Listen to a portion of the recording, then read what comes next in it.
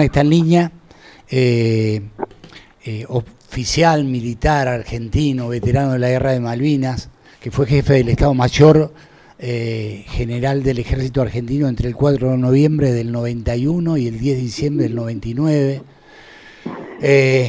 tras el término de su carrera militar, se desempeñó como diplomático al servicio de la Argentina, fue embajador en Colombia y también en Costa Rica durante los gobiernos de Néstor y Cristina, y estoy hablando de Martín Balsa.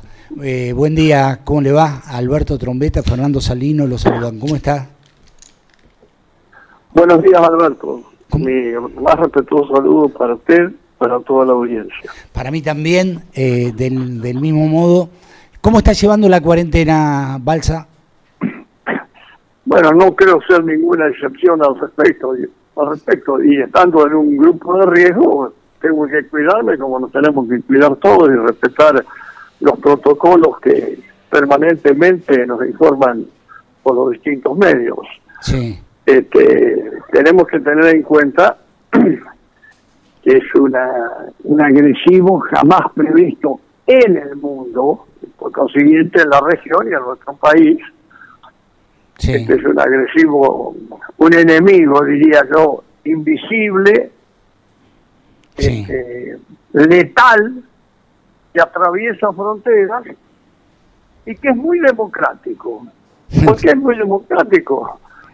Es porque ataca a todos, al más encumbrado, a un presidente, a un primer ministro o al más humilde de los hombres. Por eso creo que tenemos que respetar a quienes tienen la responsabilidad en estos momentos de conducir el país en este inédito drama que estamos viviendo. Es mi opinión. Sí, por supuesto. Eh, estamos hablando con Martín Balsa, Fernando, eh, y mm, se me ocurría eh, preguntarle ¿cómo, cómo, ve las acciones que se han tomado de parte del gobierno, ¿no? del gobierno nacional, de Alberto Fernández. ¿Cómo, cómo, cómo ve eh, la, la, eh, la actitud que ha tomado desde el punto de vista institucional el gobierno en relación a esta pandemia? Bueno, yo la comparto plenamente. Plenamente. Este, yo creo que en este momento todos, todos tenemos que eh, valorar lo que a quienes tienen la responsabilidad de conducir el país, como dije, ante este agresivo jamás previsto. Entonces tenemos que en estos momentos actuar todos juntos porque el único quienes van a ser beneficiarios de eso son los habitantes de nuestro país y tendríamos que ser en mi opinión este, muy prudentes cosa que a veces este, por los medios de comunicación masiva uno aprecia que hay algunos un pocos sectores que, que puedan no comprender a esto. Yo soy muy respetuoso del disenso, pero también soy muy respetuoso y, creo que hay un gran ausente, en, particularmente en este momento, para comprender este drama, por parte por parte de muchos, porque parecería, parecería no digo que esto sea, sí. pero como todos tenemos opiniones, yo respeto las opiniones de todos y tengo una, sí. tenemos que tener en cuenta algo que a veces ha sido una constante en la política argentina, no de ahora. Esto viene desde el principio, desde, desde, diría yo, particularmente desde mediados del siglo pasado, desde mediados de la década del 50 del siglo pasado. A veces parecería que en el accionar político, puedo estar equivocado en lo que digo, este, quienes no tienen la responsabilidad de gobernar buscan el fracaso de un gobierno. Quiero ser muy claro en esto, es una opinión muy personal.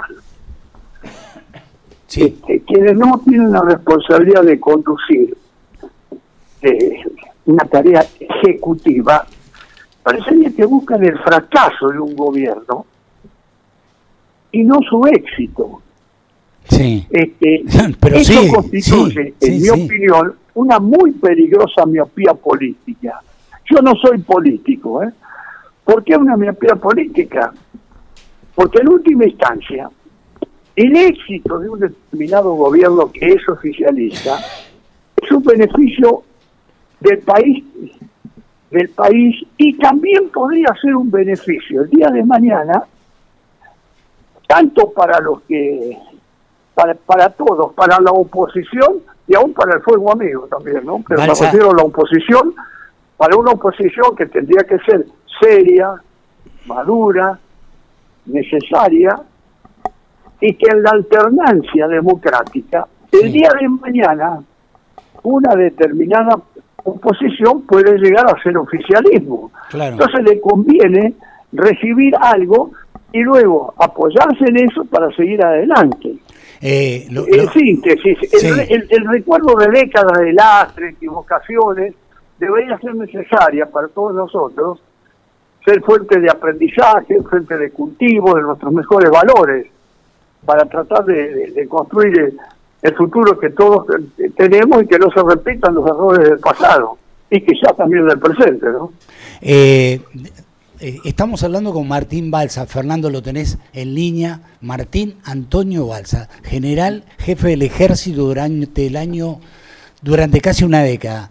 Usted está pidiendo una grandeza que indudablemente nosotros los argentinos, eh, sobre todo aquellos que tienen algún rol institucional o algún rol partidario, parecen no tener. Yo comparto plenamente, digo, hasta sería conveniente para aquellos que son oposición eh, que las cosas al que es oficialismo le fuera realmente bien, porque eso, eh, si eventualmente le tocara gobernar, facilitaría las cosas, pero no pasa. Fernando, lo tenemos en línea. Martín Balsa, si te ocurre alguna reflexión o algo que le quieras preguntar.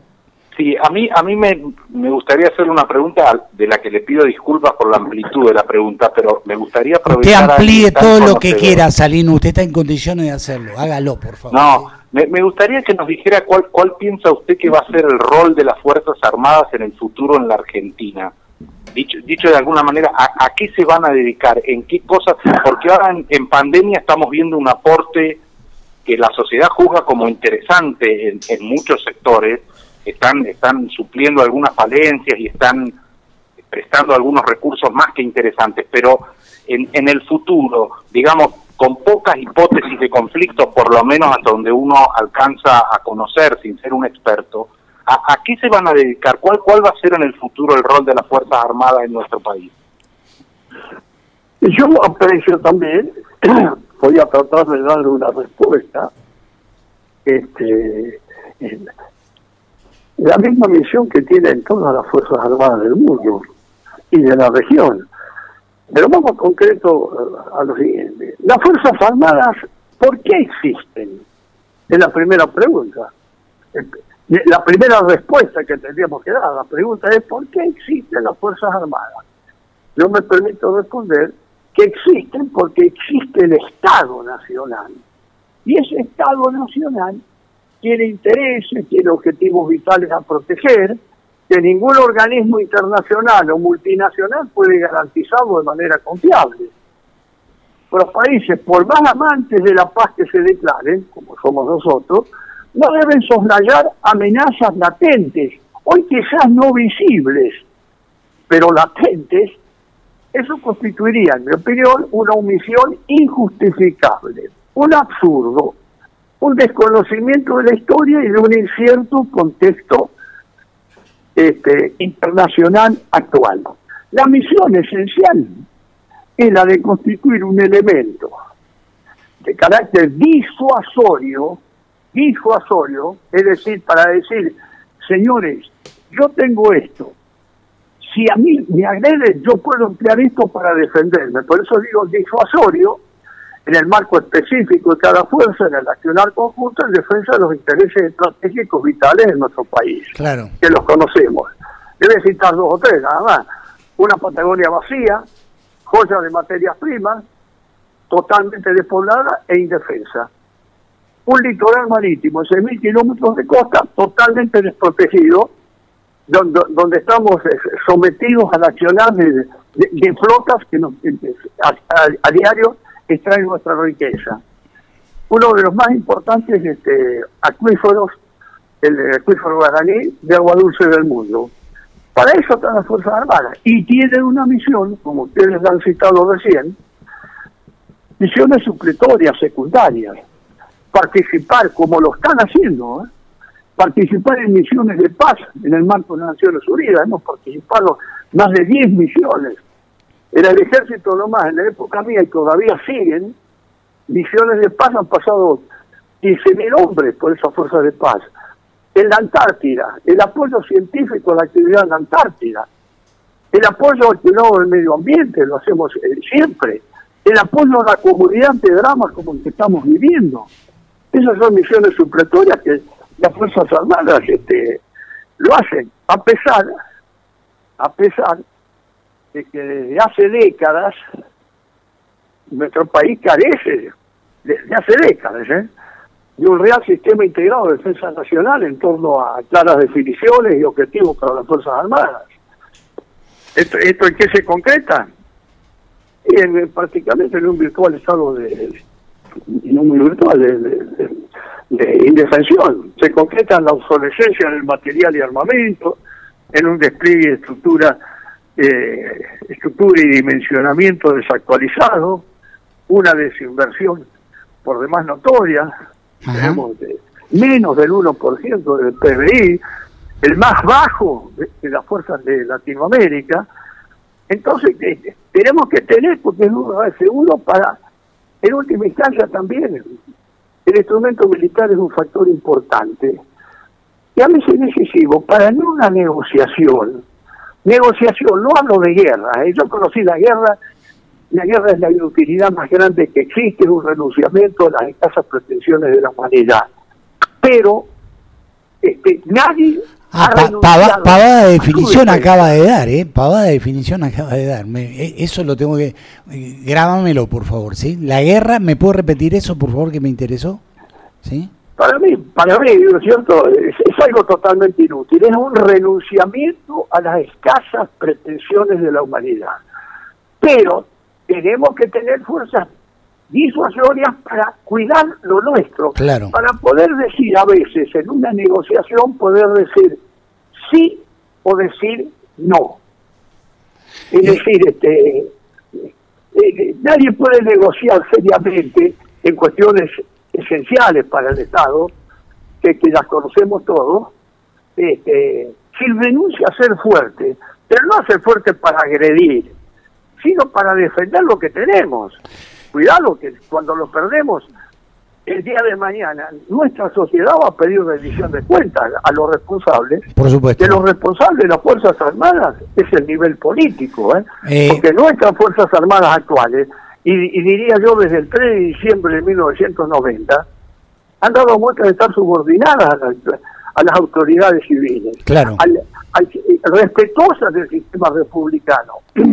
Balsa, la Constitución Nacional prescribe claramente las atribuciones que tiene el poder político, particularmente el Poder Ejecutivo Nacional y el Congreso Nacional, el Poder Legislativo. Balsa, le, siempre le quise hacer esta pregunta.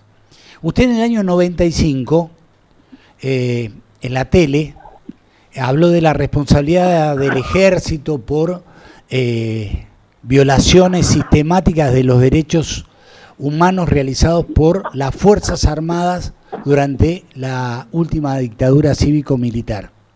Y ordenó, y a partir de ahí mi reivindicación eterna hacia usted, desobedecer las órdenes inmorales que pudieran darse en el futuro. ¿Sí? Eh, una enunciación que indudablemente generó en su momento eh, bueno, un enorme revuelo, lo sigue eh, generando hoy. Digo, ¿se arrepintió de eso? O, en el tiempo todo lo que pasó después o devino después lo, lo reafirmó en cuanto al concepto global? ¿no? No, por principio, yo no me he arrepentido nunca y sigo diciendo exactamente lo, eso. Y este eh, no lo hizo Martín Balsa yo tenía que hacerlo porque era el jefe del ejército. pero, hasta, ese momento nadie, nadie, nadie había dicho lo que dijo usted, ¿sí? Nadie... No, eh, bueno, no, me importa, lo que me importa decir es que fue un mensaje institucional del ejército argentino. Claro. Y no ha sido modificado, pero yo pido que a veces cuando se analiza ese mensaje, hay que hacerlo pensando el momento en que se dijo, en que se dijo. Sí. Todos los responsables de lo que usted acaba de decir, de esa sangrienta dictadura, en ese momento, ese martes 25 de abril de 1995, todos los responsables, militares y civiles, ¿eh? Sí. estaban todos indultados desde octubre de 1989 por el Poder Ejecutivo Claro. Nacional. Sí, sí. indultados. Claro. Por eso hay que analizarlo con la Sí, sí. hermenéutica del momento. claro. Fue un mensaje institucional. Eh, más que necesario. Fernando, ¿algo que quieras preguntarle a Balsa o decirle? No, no, yo valoro muchísimo y eh, entiendo lo que la transmisión de esta idea de institucional y creo sin duda que fue una un aporte muy grande a, a la democracia que hoy tenemos, imperfecta, con, con muchísimas cuestiones que debemos corregir, pero sin duda mejorada respecto de lo que fueron aquellas situaciones que ustedes describían, de manera que que hay, hay, hay un respeto muy grande y un reconocimiento a esa frase que no hace más que expresar una actitud que, que resultó muy útil para la construcción democrática. Sin duda. Eh, Balsa, eh, se habla mucho de nacionalismo. Eh, si usted me tuviera que definir, ¿Cómo? se habla, digo, últimamente hablamos mucho de nacionalismo. Más allá de que estamos en un problema globalizado, el nacionalismo se nos cae permanentemente de la boca. Digo, ¿qué, cómo, ¿cómo define el nacionalismo usted? Bueno, debe haber tantas definiciones. Bueno, pero por eso yo le pregunto la suya. Le, eh, en nuestro país. Mire, eh, yo siempre decía que nunca entendí en el ejército, estuve 48 años en el ejército, los Sí. últimos ocho como jefe de la fuerza, que decía, no, es que hay oficiales, oficiales nacionalistas y otros que son liberales. Yo no sé, no, no, sé quiénes eran los liberales y quiénes eran los nacionalistas en el ejército. Que sí les puedo decir que había oficiales y suboficiales respetuosos de la de las instituciones eh, republicanas, respetuosos de la Constitución, de las leyes y de los reglamentos militares, este, y que cumplían su labor acorde con eso. Y estaban aquellos que lamentablemente, por distintas circunstancias, influidos por sectores políticos, empresariales, sindicales, algunos medios de prensa, este, limaron la, la disciplina interna y el orden a los cuarteles y se mimetizaron, hicieron un cóctel de cuestiones políticas, de cuestiones ideológicas, de cuestiones religiosas, mezclándola con un tinte militar. Ese cóctel explosivo este, nos condujo a seis lamentables eh, golpes de Estado cívicos militares, particularmente en en la segunda mitad del siglo XX, cuatro de ellos, sí, y corrompió las Fuerzas Armadas para terminar con ese lamentable autodenominado proceso de reorganización nacional, sí. que en respuesta a una agresión evitó combatirla aplicando toda la fuerza del orden jurídico vigente, no la aplicó, pero también se alejó de elementales principios morales, éticos y hasta religiosos. Eh, eh, le- usted fue embajador en Colombia y Costa Rica durante el gobierno de Néstor y de Cristina. Es decir, ¿qué, rescata, digo, de, de ese rol que más allá de que tiene que ver con la representación argentina, también tiene es un rol político porque eh, uno lo puede vincular con eso. Digo, que, ¿qué, le quedó su vin- de su vínculo con Néstor Kirchner y con Cristina? Bueno, en, en principio he estado ocho años, eh, como usted dijo, bueno, ocho años en Colombia y casi cuatro en Costa Rica. Sí, Mi reconocimiento al, al presidente y a la señora presidenta por haberme confiado tan importantes cargos. Traté, dentro de, mi- de mis limitaciones, de cumplir este, y responder a la confianza que se me dispensó. Estuve ocho años. Este, quienes pueden juzgar mi desempeño como embajador son los gobiernos ante los cuales representé. En realidad lo quería involucrar poli- políticamente, Balsa. Lo quería involucrar políticamente, ¿sí? Quería que me, diera alguna definición pero usted quiere involucrar políticamente a alguien que no es un político. Y bueno, pero todos tenemos... Yo fui, yo fui y no, nunca tuve ningún condicionamiento para que yo tuviera pero, pero hoy, de hoy es un ex cumplimiento de mis funciones por parte ni del señor presidente Kirchner ni de la señora presidenta Cristina. Nunca lo tuve. Sí. Al contrario, me dieron amplias facultades dentro del marco diplomático. No, pero yo se lo preguntaba en este sentido. Escúcheme, y esto dicho con toda eh, con todo el, respeto que digo, usted vota como votamos nosotros, ¿sí? Digo, uno usted vota, va a votar Digo, no sé si votó o no votó, pero digo, eh, porque podría no Siempre he votado, por supuesto, como ciudadano argentino. Bueno, bueno y uno, desde el momento que vota, de alguna forma también se involucra, digo, más allá de que es un deber cívico. Eh, por eso... Pero, pero no creo que sea interesante saber por qué votó. Ustedes...